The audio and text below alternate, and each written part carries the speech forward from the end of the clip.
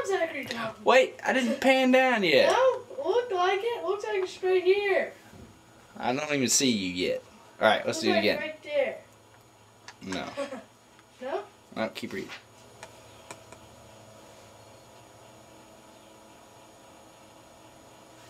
I'm Zachary Thompson. Welcome to my documentary. Why do I have a documentary?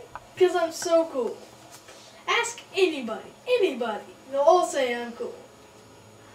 Yeah, I know that Zach, but I was in jail with him a few years back. Uh, he helped me dig a few tunnels to try and escape from this dreaded place. We always got caught by them police, the fuzz. But still, he's a nice guy. Oh, yeah, that's that guy screaming out of this. That's the reason he's still alive. I ain't killed him yet. Yeah, that Zach guy is the man. I mean, he's the envy of all the raisins in California. I wish I could be like him. That Zachary Tomfeld, he's nice. I, he helped me put some dirt on my truck while we were out shooting us some duck. He shot 16 geese out of the air. He had a pretty nice dog, too. Shredded him. Zach is so nice. He gives me doggy treats every day. Man, he pets me all the time. I wish he's here more often. Gives me Slim Jims. Oh. That Zach guy's so nice. He buys me a smoothie with my lunch every day. I mean, is there anybody that kind? Except for him, that is. That, that guy is so cool. He's almost cool as I am. He'll never be quite as cool, though. Never just quite there. Zach? He ain't cool. He's such a jerk. If he, if you see what he does, he's just a jerk beyond belief. Well, not everybody appreciates my greatness, but anybody with half a brain in their head would appreciate it. Cause I'm just brilliant. I'm required by law to say that I'm brother of Zachary Taunton, who is the subject of this documentary. Very, very sadly. A poor subject. How do I describe him? He's very, he's very hard person to describe because of his, how crazy he is. Sometimes in our house, we have to work around the house and work in the yard, rake for about four or three hours. And they, our parents just say, just gotta carry our own weight. And, but I think, where are the abolitionists? We need William Wilberforce. What happened? We're coming, returning back to the old South. What, the Civil War was useless. And here we are, raking away this afternoon like we did. It's unacceptable. I consider myself to be a very good worker. I'm like that slacker Chris. I mean, I'll be like just going away at the leaves while he's just like twiddling his thumbs, whacking trees with sticks, and making more work for me to do. Like he'll shake a tree and get the leaves on, and then just like slap me like, ha, pick them up. I mean, it's obvious that I do more work than he does because he's so flabby. Look at these developed muscles. Mean, come on.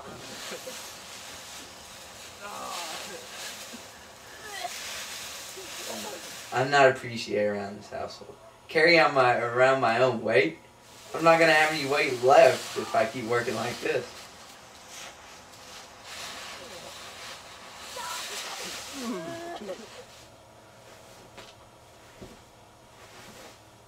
There. Yeah. Hey, what? What put that that back. screen? Put that back. Who do you think you are taking our flag? Hey, you. You failing. He's got smoked.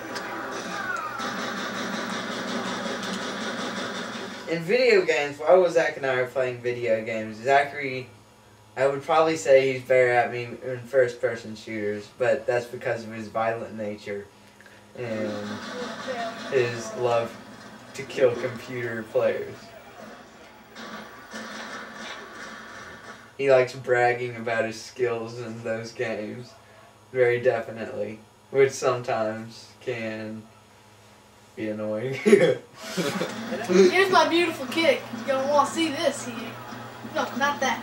This. Here's my beautiful kid.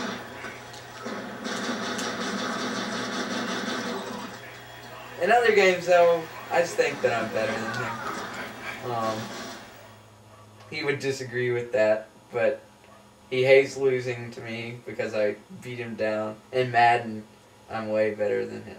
I scored touchdowns on him like he like you couldn't even think of. Here's my specialty. He loves hit sticking people. His violent nature taking over him. So again, um, destroying people. I've died 18 times. He's died 18 times.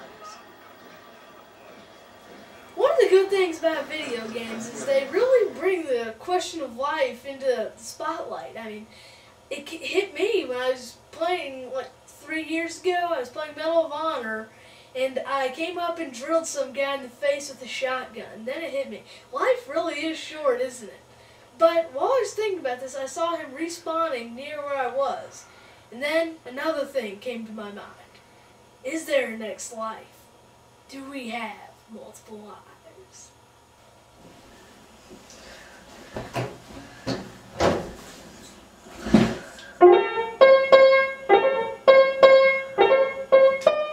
Restart that garbage.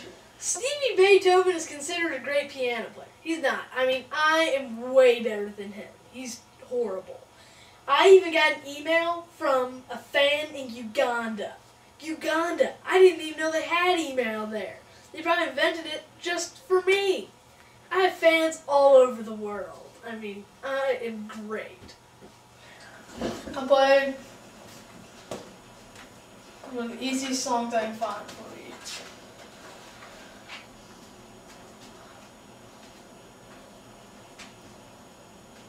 you. I'm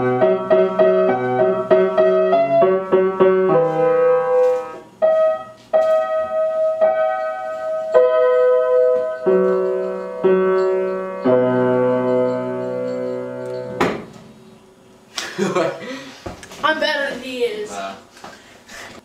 I'm the greatest piano player you'll ever see. I'm the man.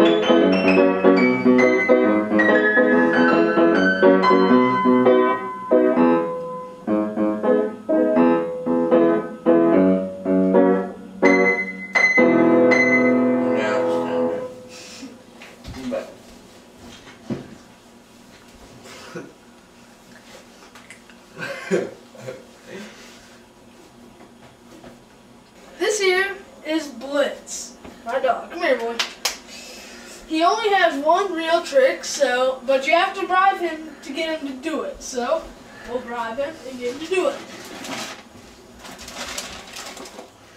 One of his favorite treats is ice. Sit. Ice.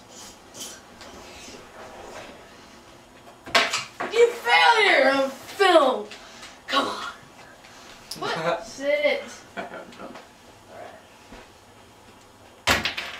You're throwing it bad throw it. Throwing No, out. Chris. Wobble. That no, that's easy stuff. Foe. He's a foe. Sit. He shall pay for his iniquities. Sit. Learn that word from me. Okay. He's a failure on film. Here is Zachary's almighty disappearing trick. Now watch this. You see this? I put it on here. I bounce it. You still see it? It's gone. What happened to it? You don't know. But the trick is to bring it back and make it disappear again. And then bring it back